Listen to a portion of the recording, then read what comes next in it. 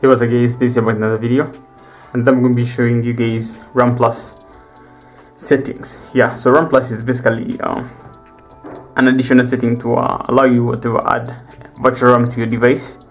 More like uh, the device is going to use part of your storage as RAM. So that's basically what RAM Plus is. So to enable RAM Plus, you just basically go to your settings, then just search. Instead of wasting time, just go to RAM. Should come up real fast. You're going to see right here at the bottom, as you can see. Okay, let's search again. Search for RAM, and you're going to see under battery and device care, you're going to see RAM Plus. Click on that.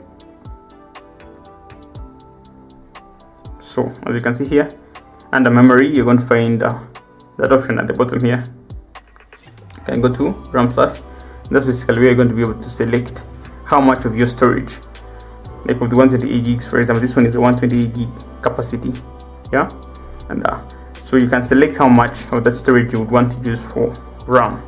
You can go up to 8 GB on this but I just selected 4 GB because I feel like the RAM is enough. This is a 8, 8 GB variant so plus 4 GB of extra RAM that would take it to like 12 gigs of RAM.